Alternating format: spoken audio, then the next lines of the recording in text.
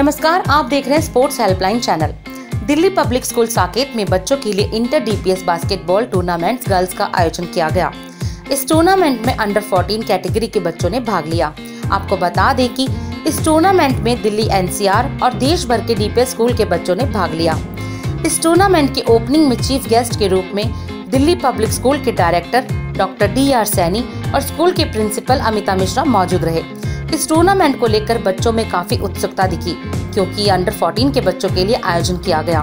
और DPS society ने पहली बार बास्केटबॉल में अंडर 14 में बास्केटबॉल गर्ल्स टूर्नामेंट आयोजित किया। वहाँ आए लोगों ने मीडिया से बातचीत में क्या कहा? आइए देखते हैं इस खास रिपोर्ट में।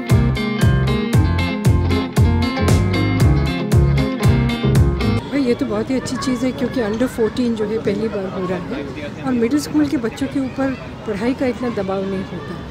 तो इस उम्र में अगर इनमें ये रुचि पैदा हो जाए और इंटर डीपीएस लेवल का कंपटीशन हो जाए तो स्वाभाविक है कि इनका स्टैंडर्ड तो बढ़ेगा ही बढ़ेगा। हम देश में बास्केटबॉल एकदम से बहुत अप कर रहा है गेम क्या लगता है कि डीपीएस उसमें कैसा योगदान दे रहा है अपना? देखिए एनबीए का पहला टूर्नामेंट अभी मुंबई में हो रहा है तो जोश तो बढ़ ही रहा है।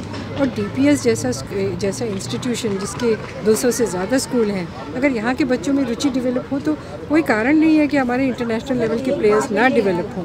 तो शुरुआत तो स्कूल से ही होती है और अंडर फोर्टीन परफेक्ट एज है क्योंकि जूनियर स्कूल में बहुत छोटे होते हैं सीनियर स्कूल में बोर्ड एग्ज़ाम में लग जाते हैं। ये जो उम्र है class six seven eight nine तक की ये बहुत ही अच्छी उम्र है और ये डीपीएस सोसाइटी का बहुत अच्छा इनिशिएटिव है। मैम जैसे कई डीपीएस अलग अलग संस्थान से यहाँ आज आए थे साकेत में तो उन बच्चों को और अपने बच्चों को क्या मैसेज देना चाहेंगे? उनके लिए तो मैं यही कहूँगी, मौसम बढ़िया है, आप लोग दूसरे शहरों से आते हो, एक दूसरे से मिलते हो, खेल, जीत, हार जीत, हार तो लगी रहेगी, लेकिन कम से कम आपने स्टैंडर्ड देखा कंपटीशन देखा, एक दूसरे से मिले, दोस्ती बढ़ाओ, जीतना, हारना, वो इतना ज़रूरी है, अभी नहीं है। और अगर आप जीतते हैं तो बड़ी अच्छी बात है, अगर नहीं जीतते, सब तो नहीं जीत सकते, अगर आप नहीं भी जीतते हैं तो देखो, सीखो देखो कि किसी में टीम स्पिरिट अच्छी थी, किसी की कोचिंग अच्छी थी, आप अपने खेल को कैसे इम्प्रूव कर सकते हो? उस स्पिरिट में गेम्स खेलना चाहिए। सबसे पहले तो मैं डी सोसाइटी के लिए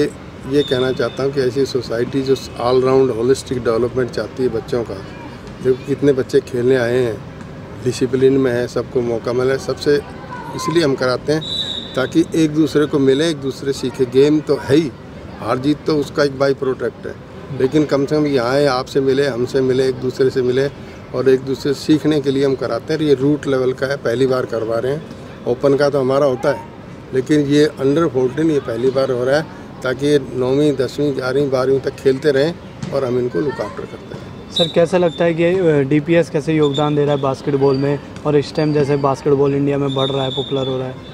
ये देखो स्कूलों के बिना तो कुछ प्रोग्राम हो नहीं सकता। और इंडिया के स्कूल बहुत अच्छे हैं। पब्लिक स्कूल भी गवर्नमेंट भी सभी। अब खेलों के प्रति सरकार भी ध्यान देने लगी है। मीडिया ने भी काफ़ी लिफ्ट किया है।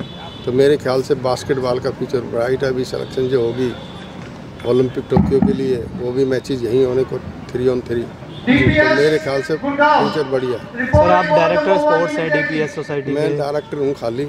नहीं खाली डायरेक्टर तो आप एज ए डायरेक्टर क्या क्या टारगेट रखते हैं कि ओलंपिक्स में अपने स्टूडेंट्स को भेजने के लिए? ऐसा है कि अभी ये बिगनिंग है। मैंने बोला ना अभी आपने सुनी सुनोगी ये रूट शूट और फ्रूट अब ये रूट है।